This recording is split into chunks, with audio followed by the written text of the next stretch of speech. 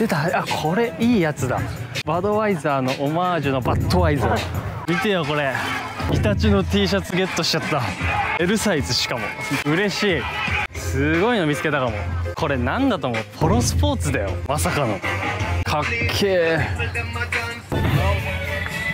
それかこのストレンジャーシングスめっちゃ良くない？やばいねこれ。サイズもねラージサイズで完璧 NGFM ナイトグランドフレアマーケット。はい。そちらで購入させていただきました。お品々を紹介したいなと思います。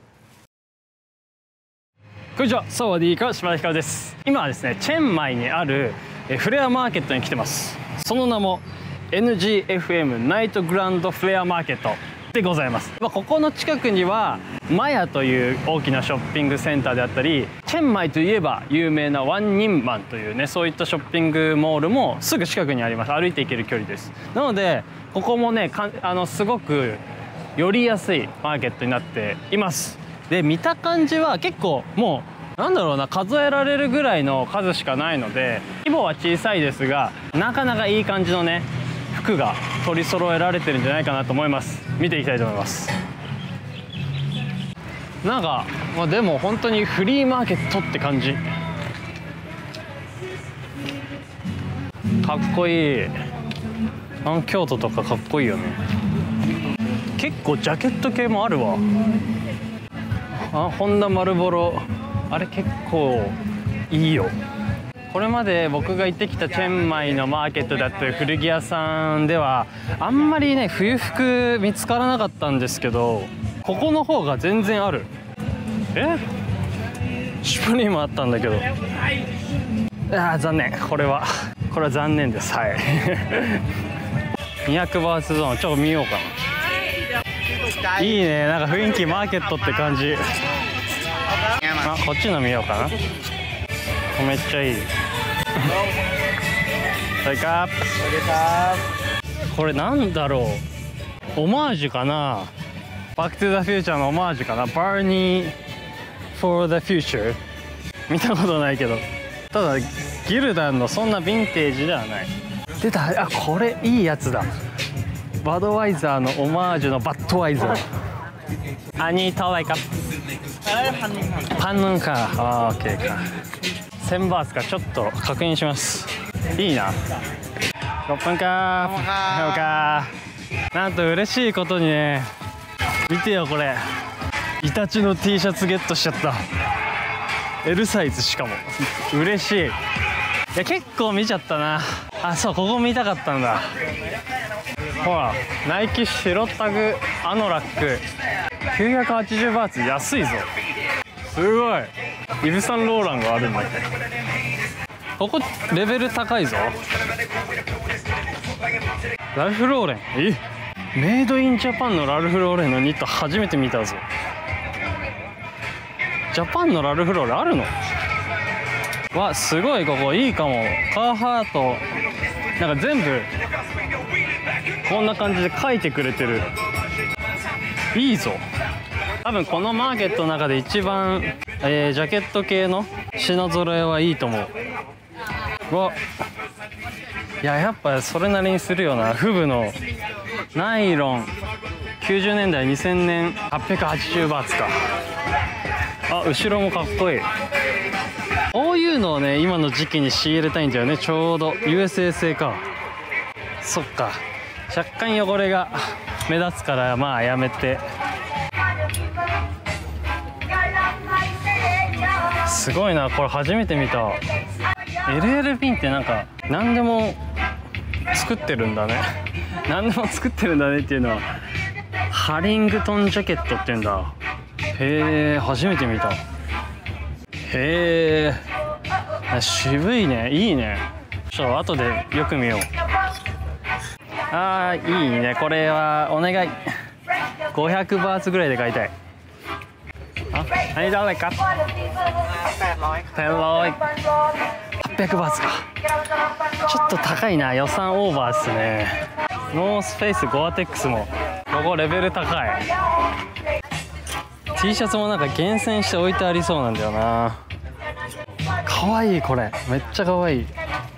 made in USA 製、えー、580バーツね。これいいな。キープキープこれなんかスウェットなのか T シャツなのかめっちゃ中途半端なスウェットを腕カットしたんだこれ。お店の人はね T シャツというふうに書いてます。フルーツ USA おーかわいい。いやいい感じのねボロになってます。結構いい感じにボロが入ってる。色あせよれみたいなのがねめっちゃヴィンテージ感出してる。あ穴も開いてるわ。いやでもいいな。これ映えるな。やっぱねやっぱなんだかんだ T シャツいいよな。うお。これまさかのマイケル・ジョーダンゴルフなんだけど。予想外。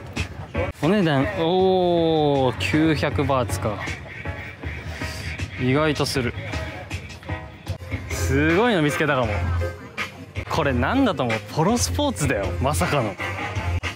すげえラルフ・ローレンらしさなんて一個もないんだ。へえかっけえ。1680バーツか。うわこれはいいな。やっぱちゃんと洋服探さないと眠ってるよ。ポロスポ結構あるな。結構これボロだよ。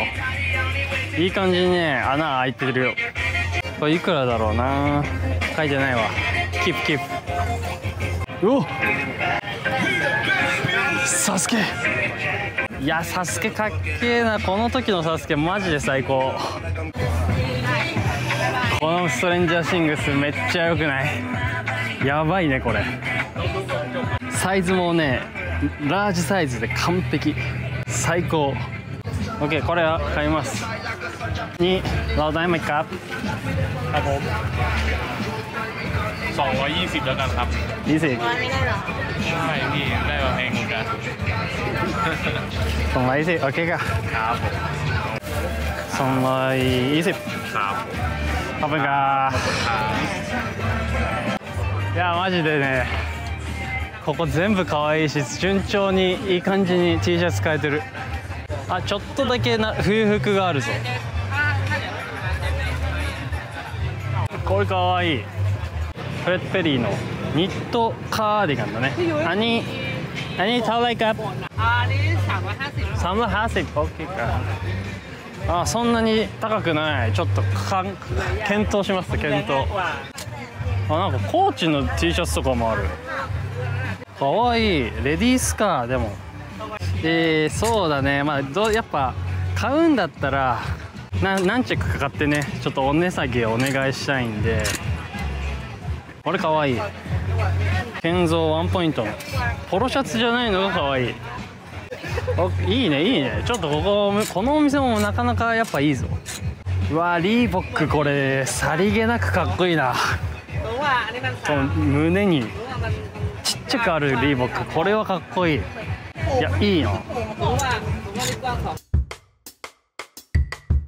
それではですね NGFM ナイトグランドフレアマーケットはい。そちらで購入させていただきました。お品々を紹介したいなと思います。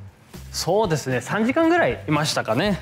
3時間でこれだけ購入することできました、えーなんといっても僕て僕自身一番の収穫としてはキャップを変えたことですね。キャップを変えたのがすごく収穫。なんでかというとまあ10月にポップアップイベントを日本の、えー、と茨城県の方でねやろうと思っていまして、えーそれでこう今準備をね進めてる段階なんですけど、まあ、やっぱり服だけじゃなくていろんなものも置いていきたいなっていう思いがあってアクセサリーとかも今ちょっと買ったりしてるんですけどキャップもね、えーいいのあったら買いたいななんていうふうに思って今回タイに来ていた部分あります。もちろんバンコクでも探してたんですけどあんまりうんなかなか僕の、まあ、心に刺さるものがなかったっていう状況でしたがまあまさかねチェンマイのマーケットでキャップを変えることになるとは。そんな感じですね。まあじゃあそしたらここから紹介していきますか。ギリギリ価格に入りそうですね。はい。じゃあこれからいこうか。これはエミスっていう、えーブランドのキャップです。コーデュロイだね。おそらく21年の時に作られた、えーキャップなんじゃないかなと思います。韓国のブランドでした。前から知っていたというわけではないんだけどちょこちょこ見たことあるなとは思ってた。はいこんな感じで韓国語で書かれてるねやっぱいろんな出会いがあるなっていうのは思う。これさ、まあ、普段ならまあ新品で買うこと、まあ、おそらくないだろうし出会うこともなかなかないけどまさかさチェンマイのさナイトマーケットでさ出会うことになるなんてさ思いもしないよね。だからまずこれが僕の古着屋に置きたいなって思ったキャップ第1号です。おめでとうございます。エミスさん。はい。ちょっとダークめな緑のコーデュロイキャップでした。続いてフレット・ペリー。フレット・ペリーのキャップですね。はい。これねちょっとねまあ形としてはどうだろう。まあアウトドアだったり土日の自由が丘のランチの時にえー、かぶっていきたいようなそんな形のキャップでございます。勝手に今僕が考えましたけどそういう感じですね。フレットペリー。ワンサイズ。後ろでこうベルトで調整可能です。いいね。ちょっとあのシワが寄っちゃってるんでね。綺麗にして店頭には並べたいなと思ってます。続いて3つ目がカーハートのキャップでございます。まああの僕的にはこのメッシュになってるのがポイント、まあ、なんでかっていうとタイが暑いので 日本のお客様のために購入してるんだけどちょっとその時これを購入した時はごめんなさいあの僕的にやっぱタイ暑いからこういうメッシュのキャップいいよなそんな思いで買っちゃったものですね。でトラッシュアウトって書いてある。ちょっと意味はわからないけどまあなんかリサイクルみたいなマークが書かれてて。まあ、でもそのなんだろう正面にドーンじゃなくてサイドにねこうさりげなくカーハートがきちんと乗ってるのが素晴らしいね。あんまりさこうキャップを買うことがないからこういう感じでタグがついてるもんなんだね。3つ購入させていただきました。きちんとこの辺ちょっとシワ伸ばして綺麗にしてね、えー、店頭に並べたいなと思ってます。まあバンコクでもねちゃんとキャップ探して仕入れたいなと思ってます。そうだね。どんくらいあればいいんだろうね。分かんない。あんまり分かんないけど10個ぐらいまああったら結構こういい感じのレイアウトになるんじゃないかな。そんなイメージが湧いてるんでなんとか10月にね間に合わせたいなと思ってます。それでは続いて T シャツなんだけどえっ、ー、と2店舗3店舗かな？購入できたのは。T シャツはやっぱり品揃えは最高でした。あちょっとごめんなさい。はいごめんなさい。もう一個あったわ。見落としてた。アンブロのニットキャップ。こちらも買いました。これリバーシブルになっててどう？可愛くない？小文字アンブロさ。まあこれさタグとかないから正確な年代とか言えないんだけどでも古めだとは思う。これは。なんかデザイン的に僕のこれまでの仕入れ経験からしてこれはまあやや古めなデザインかなと思うので貴重かなと。いいね。これもねたまたまゲットできたんで よかった。ニットキャップもねパップが10月だからちょうどいいねタイミング的には。そっか。キャップ4個ゲットできてました。ラッキー。じゃあ続いて T シャツたちをね紹介したいと思います。まず1枚目これね。内葉イタチ。最高だね。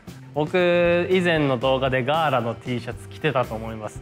あれ、まあ、ガーラが僕一番好きなんだけどイタチも好きだねこれは。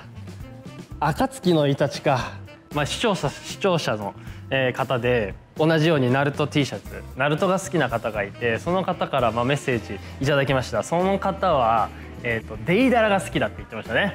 デイダラの T シャツはちょっとまだ見つかってません。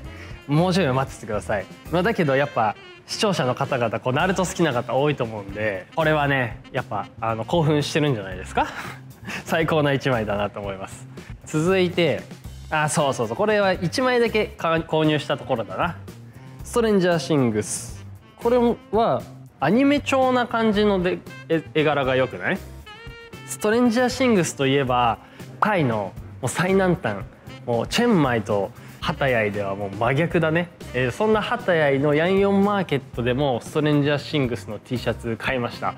あれ思い出深いな。そんな感じでこうタイの最南端タイの最北端でストレンジャーシングスをそれぞれ変えたなんていうそんなね素晴らしいね。こんなエピソードも話せるぐらいちょっと何？ネタがネタがストックできるようになってきたのかな？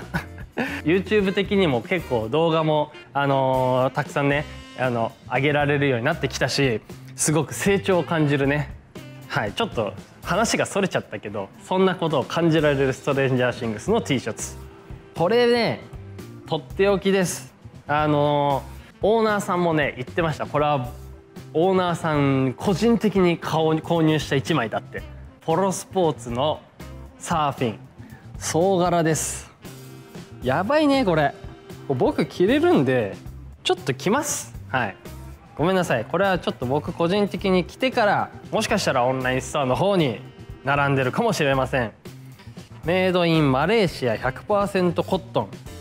あちょっと待って。今気づいたけどこのサーフボードにポロスポーツの名前が入ってるわ。うわ粋だね。生かしてんね。最高。結構嬉しいヴィンテージな一枚です。続いてこれもまたデザインがもう最高。肩がね残念ながら、まあ、ちょっと穴が開いてんだけどまあ別に気にならないでしょう。これにやっぱちょっと濃いめのデニムを履いて着こなしてほしいな。僕着こなしてみようか。機会があればちょっとこれ着てねコーデしたいなと思う。別の動画でも僕話してるんだけど、えー僕の好きな T シャツ絵柄はこういった、えー陽気なポップな動物たちが描かれてるそんな T シャツが大好きなんでこれも僕の心にドストレートドストライクなそんな一枚です。画面越しは伝わりにくいかもしれないけどすごいヴィンテージ感満載のね生地感薄さ触り心地してるんでたまらないです。続いてオニータの T シャツ。いいねこれ何気に野球なんだよね。何気に野球。僕は野球部出身なんでこれは普通に大好きでございます。詳しくは分からないんだけどえーオニータメイドイン USA です、うん、T シャツ自体の生地もしっかりしてるからこれずっと着れるよ。ご購入していただいた方にはねもうこれぜひともずっと着てほしい。96年かなと思います。デザイン的に96年かなっていうそんな感じです。最高だね。で最後。まああのお店の方も言ってたんだけど日本人大好きだよって言ってたね。そんな日本人の僕も大好きです。バッドワイザーバドワイザーのオマージュ。これはなかなかね購入金額もおお高めでした。まあそれでもやっぱ僕としても1枚持っておきたい。そんな1枚だったんで買いましたね。いろんなサイト見てるといろんなタグのバッドワイザーがあるんだけどその中でもこれはヴィンテージで結構しっかりしたやつです。ギルダンのヘビーウェイトコットン、うん、ちゃんとあのヴィンテージのバッドワイザーなんで価値としてはよくいろんなサイトで見られるバッドワイザー T シャツの中では結構ヴィンテージ品として価値は高いなって思います。素晴らしい。でサイズ感。ちょっと待ってでっかいな。結構でっかいよ。XL XL だけどね大きいな。2XL ぐらいのなんかサイズ感あるかな。日本人サイズでいうと。いやーなんかついに巡り会えたなっていうそんな一枚です。こんな感じでね古着の、えっとお仕事始めたのは大学卒業してからなので、え1年半約2年ぐらいか。約2年ぐらい今やってるんですけど、まあ、そんな中でようやく出会えたなっていうバッドワイザーの1枚。やっぱこれ長く続けてるとその期間長い分より多くの出会いがあるから面白いなって思う。それではですね今回購入した中でとっておきの1枚。もうこれはやっぱ迷わずこれです。迷わずこれ。ちゃんと紛れもなくヴィンテージでありちょっとこうポップな感じで若干クスッと笑える感じのデザイン。わかるかな？リアルなんだけどリアルすぎずちょっとクスッと笑える感じですごく迫力のあるね1枚でインパクト抜群のこれはさ色味的には青メイン青とグリーンがメインなんだけど、まあ、全然着やすいかなって思います。これ着て海行きたいよね。いいの買ったなって本当思います。今回はキャップも変えてこんないい T シャツたちも変えてすごく満足です、まああそこは本当いわゆるフリーマーケットっていうまあもう名前の通りの感じのそれぞれお店が並んでましたね。すごくサイズ感もちっちゃくて1日だけで十分あの全て見切れる量でした。本当おすすめです。周りもいろんなショッピングセンター大きいショッピングセンター近いしあのめちゃくちゃ良かったね。あんまりあの僕はこれまでこう東南アジアアジア圏での仕入れが多いです。アメリカとか、まあ、ヨーロッパとかはまだ行けてないんですね。だからあまあそういった、えー、と他の方他の方々の動画を見てるとアメリカのフリーマーケットとかヨーロッパのイギリスのフリーマーケットとかに近いのかなとは思いました、うん、実際に本当に近いのかどうかっていうのは僕も自分の目で見たいなって思います。近々。1年以内にはアメリカもしくはヨーロッパに僕も進出していきますのでぜひサポートの方よろしくお願いします。この動画が面白いな参考になったなと思った方はぜひグッドボタンとチャンネル登録お願いします。いつも本当にサポートしていただいて応援ありがとうございます。すごく支えになってますまちょっと終わりかと思いきやですけどまあそのヨーロッパとかアメリカ、まあ、なかなか行けてない理由としてはもちろん飛行機代が高いのとまあえー東南アジアに比べたら物価が高いっていうところでなるべくね行くんだったらなるべく多く滞在したいんですよ。僕の思いとしては。なのでいろいろ準備をねしてる段階なんです。準備っていうのも例えばこう航空券のマイルを貯めたりとかね、えーまたまた他のポイントを貯めたりとかそういった準備をしています。例えば今僕がここ滞在させていただいているのはマリオットホテルなんですけど今回こちらのマリオットホテルは無料で宿泊してます。ポイントを使いました。でですねえっ、と今実は航空券のマイルも結構十分に溜まってて、まあ、ヨーロッパもビジネスクラスとかで往復できるぐらいのマイルが溜まってるので近々じゃあ実際にそのマイルでね、えー古着仕入れのためのその旅行の航空券を通る動画なんかも撮れたら面白いんじゃないかなって思ってます。そこはわからないです。あの視聴者さんからの意見などをいただけたら、えーそれを参考にして作らせていただきたいなと思ってるのでもし、はい、よろしければコメントお願いします。もちろんこの動画の感想コメントなどももちろんお待ちしてるので、はい、全部読ませてもらってます。全部返信してるのでぜひぜひよろしくお願いします。それではですね、えまた次の動画で会いましょう。バイバーイ。